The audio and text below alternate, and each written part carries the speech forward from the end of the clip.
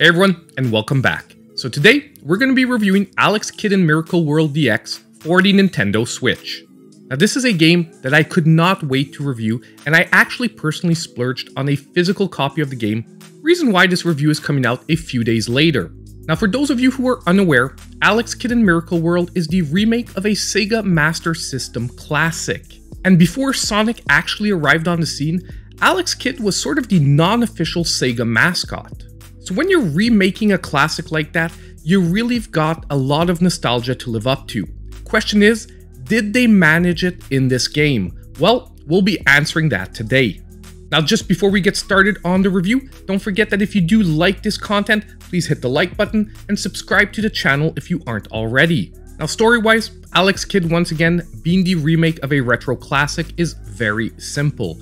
Alex Kidd, upon returning to his kingdom, finds out that everyone's been turned to stone or kidnapped by the Redaxian Empire. Well, Alex Kidd, having the power to break rocks now with his fists, isn't gonna take this line down and sets out on a mission to liberate his kingdom and basically get rid of the invading force. And story-wise, that's pretty much it that you're going to get in Alex Kidd. You're going to get little tidbits of dialogue here and there. You're going to have standoffs against the three generals before you get to the final boss in the game. But other than that, these games aren't enjoyed for their storyline, they're enjoyed for their awesome gameplay.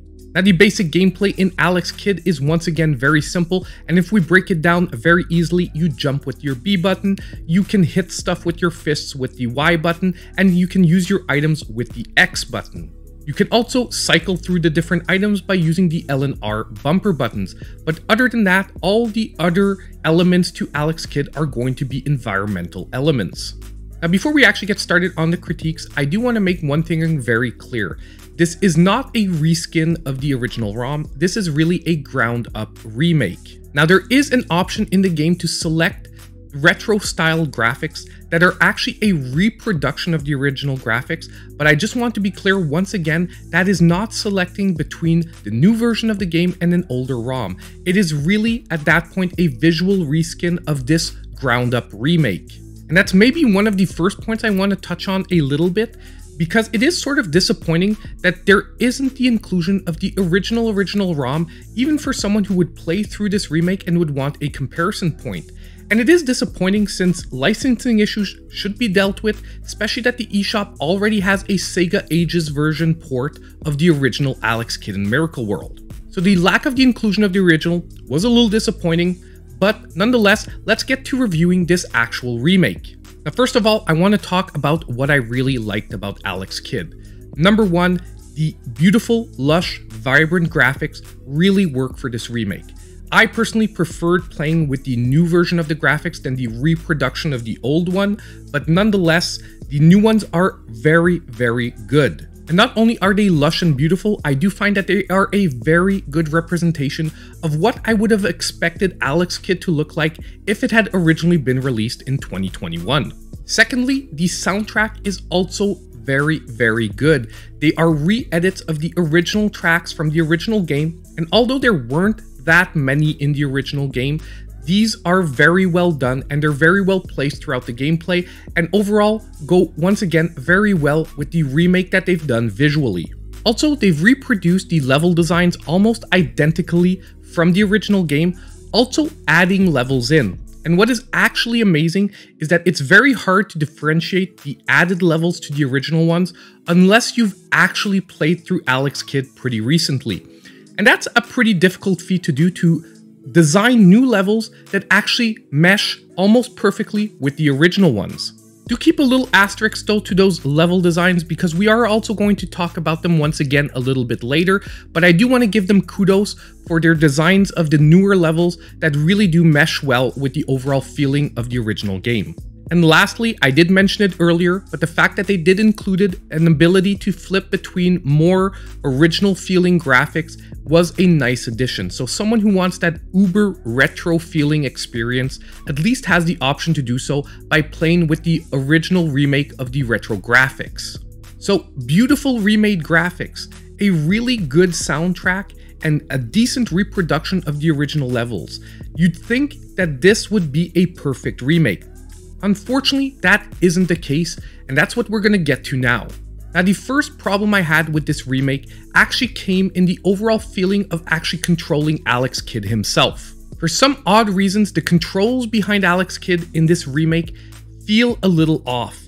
They feel a little slipperier than the original, and the fact that they reproduced the exact levels from the original game that at some point require some really, really precise platforming and control over the character, it did make certain sections of the game a little more frustrating than they needed to be. And that's where balancing a remake like this always becomes difficult. Reproducing an exact level design, that's easy. Reproducing the exact feeling of controlling a character in a totally different engine, that becomes actually quite a difficult task. If you mesh the two together imperfectly, well, you sort of wind up with a frustrating design in some parts of the game. And although I'm all for making an honest remake, sometimes you do have to sacrifice player experience for being exactly honest to the original. And unfortunately, I do think that they included a few of the more frustrating parts of Alex Kidd from the original that really didn't need to be included here, or at least should have been formatted for the new control scheme. Now, I want to be clear, this is not throughout the whole game. These are few and far between, but when you get to them, trust me, you'll know you're at one of those sections and you're going to be almost slamming your controller against the table. And there are a few parts of the game that I would have liked them to adapt to a more modern experience, like the rock, paper, scissors battles with the bosses that are 100% due to chance the first time you do them. Of course, if you replay the same boss fight a second time, you can memorize the pattern, but it is unfortunate that they didn't think a way of modernizing it where you can actually put a little bit of gameplay in there and actually figure out what the boss is going to do ahead of time. I know there's an object that allows you to do that, but you can't be guaranteed to have one at each boss fight. Now, since that rock, paper, scissors was such an integral part of the original game, I do think they should have included it, but like I said, they could have found a way to adapt it to a more modern style design, not leaving everything up to chance. And lastly, before we move on to a few general comments, I just want to clarify that personally, if you follow the channel, you know I have no problem with difficult and sometimes frustrating platformers. The disappointing elements in Alex Kidd, and when you're going to get to them, like I said, you will know what I'm talking about, is that some of these difficult, challenging elements were just difficult for being difficult. You weren't really progressing your skills, developing something new, and feeling like you've actually grown once you've made it through that challenge. They just made those things challenging and frustrating for the simple fact of making them challenging and frustrating and basically having you replay the same stage 20, 30 times to finally make it through that obstacle. But in the end, you don't really feel at the end like you've developed any new skills or are any better at the game than when you entered the level. Now, just before we move on to the verdict, there is one last final thought I want to touch on, however, and that is where the overall original Alex Kidd was in the scheme of those huge retro franchises, because it often gets compared to the likes of Super Mario Bros. And I know a lot of people have a lot of nostalgia for Alex Kidd, but I think if you look at it from an objective perspective, you can tell that the original maybe didn't have the level of polish that the original Super Mario Brothers had. And I do think that due to that fact, in the recreation of the original experience of Alex Kidd, I do think that this remake did a good job. The only thing is that they were starting from a lower original point than some of the bigger franchises, just because the original game did have those little bits of frustration in them and those little bits of lack of polish in some different areas. And I do think that with all the effort that was put into the awesome, charming visual remake, the great sound design, and the overall engine work that they did for this game, that they would have been better off making a new entry in the Alex Kidd series, but an original game with level designs perfectly tailored around the new engine than actually making a remake of the original game and trying to stay so honest to the original level designs. And personally, I do hope that that is to come. I hope that the developer behind this game takes the work that they've done here, the engine they've developed, and make an original Alex Kidd game that better suits the overall engine. So now let's move on to the verdict. And this is a big change for the channel. We're actually moving to a 20 point scoring system, meaning I'll be scoring the games 1 through 10 with the 0.5 decimals as an option. If you're interested, that new rating scheme has been left in the description of the video down below. If you're wondering why I made this change, Unfortunately, too many of the games were falling into the same general categories, and I do feel like if we start reviewing more and more games, I need a way to differentiate which ones are better than which.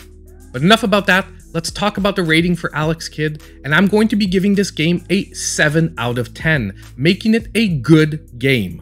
Overall, with the $20 price point that they aimed for this game on the Nintendo Switch eShop, I do think that it's fair value for what they're offering. Fans of retro gaming that can deal with a few moments of really intense frustration will still enjoy their overall experience playing through this game a couple of times. And I do think that the overall visual and audio redesign was very suited to the Alex Kidd franchise. So now overall, that was my review of Alex Kidd. If you've picked up the game, let me know what you think in the comments down below. And as usual, just on the way out, as I said earlier, don't forget that if you did like the content and you want to see more, please hit the like button, subscribe to the channel if you aren't already, and don't forget to hit that notification bell so you know when all my future content comes out. And as usual, I hope I'll see you in my next video.